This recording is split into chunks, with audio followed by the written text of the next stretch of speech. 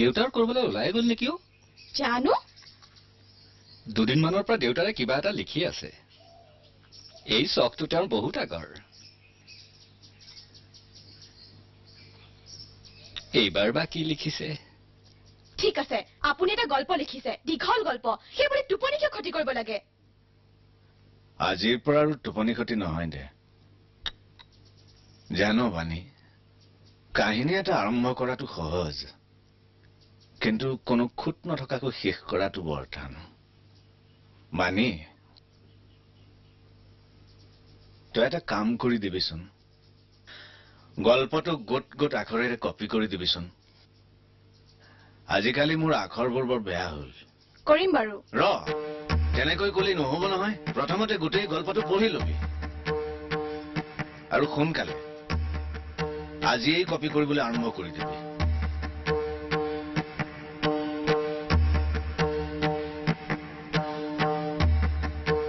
সেইবোৰ নালাগে নহয়। আমাৰ সেইবোৰ দৰকাৰো নাই। ছোৱালী মানুহ কিহে দীনবন্ধু ইমান পুৱাইনো কলৈ ওলালা?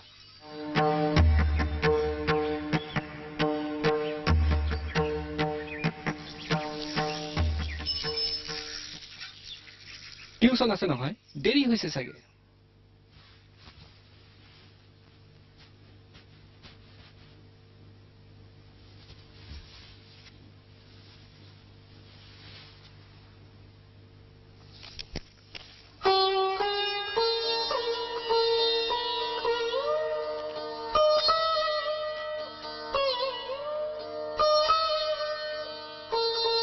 কৰ্মচাৰীক আচলতে নমৰালৈকে কাম কৰিবলৈ দিব লাগে হে। কিয় কলা? নকম।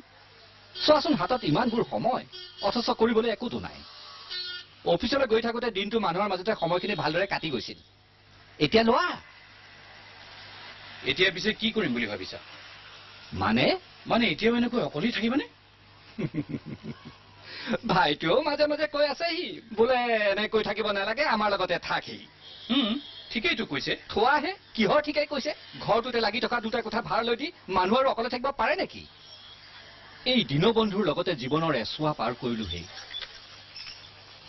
এতিয়ালৈ ময়েই তেওঁক ঘৰ ভাড়ালৈ দিছো নে তেওঁৰ ভাড়া ঘৰত মই আছো তাৰো চিন্তান নোহোৱা হ'ল।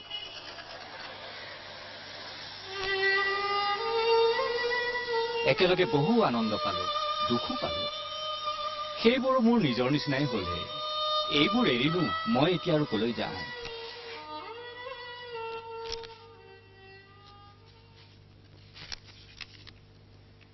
কৰ পৰা আৰম্ভ কৰো?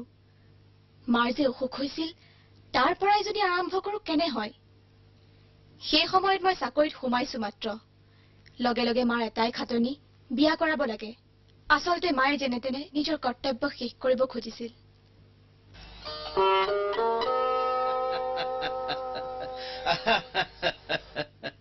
মুঠৰ ওপৰত কামটো শেষ হ'ব লাগে। যদি কওঁ দৰৱটো খাচোন বোলে তই বিয়া পাত।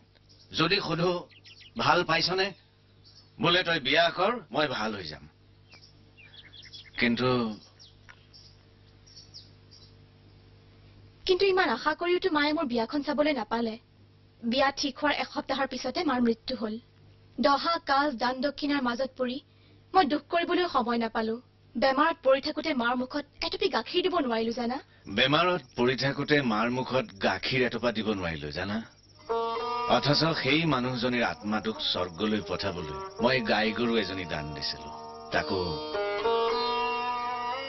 ধাৰ কৰা পইচাৰে।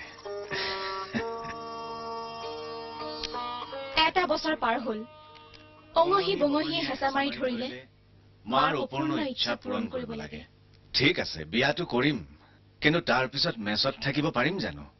আৰু সেয়েহে এদিন মই আজি থকা ঘৰটোৰ চৌহদত ভৰি দিলোহি ভাড়া ঘৰ বিচাৰি। ৰবচোন ৰব দাস নামৰ কোনোবাজনে ঘৰটো বিচাৰি থকাৰ কথা কৈছে। হয় মোৰেই নাম দীনবন্ধু দাস। তাকেই কওক আপোনাৰ বিষয়েতো মোক ভূঞাই কৈছে।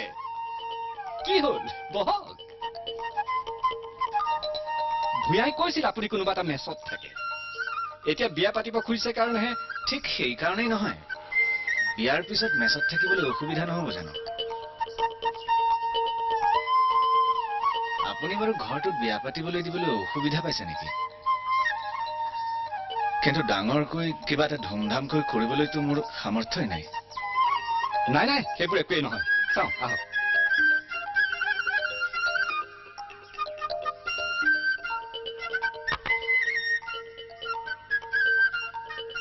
এইটোৰ দৰে আৰু দুটা শুৱনি কোঠাৰে ঘৰটো ভাড়ালৈ দিব খুজিছো আচলতে মোকো লগ এটা লগা হৈছে।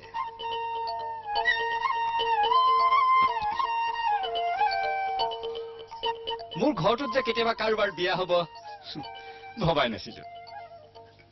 আপোনাৰ মানে নাই সেইবোৰ বহুত কথা। ইয়াত মই অকলেই থাকো। এতিয়াৰ পৰা আপুনিও থাকিব।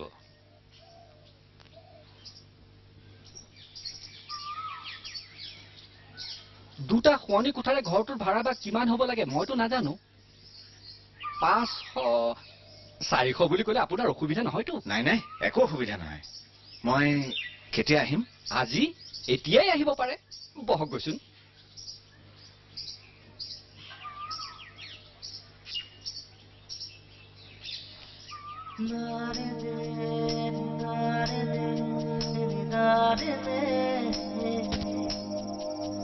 গৈছোন হৈছেগৈ নে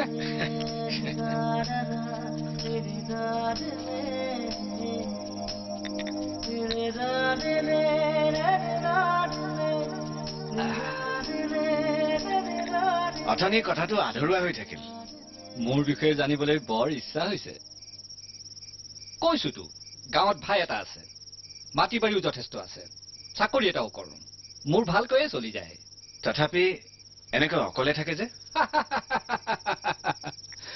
লগ এটা লাগে নহয়। এৰা লগ এটাতো লাগেই। কিন্তু যাৰ লগত এটা সম্পূৰ্ণ জীৱন কটাব লাগিব তেওঁৰ লগত মনো মিলিব লাগিব নহয়। ধৰা যাৰ লগত মোৰ মনৰ মিল হৈছিল তেওঁক মোৰ নিজৰ কৰিব নোৱাৰিলো। সেয়ে এনেকেই থাকি গলো। তোমাক তুমিয়েই বুলি পেলালো নেকি তাতে কি হ'ল ঠিকেইটো কৰিছে হে?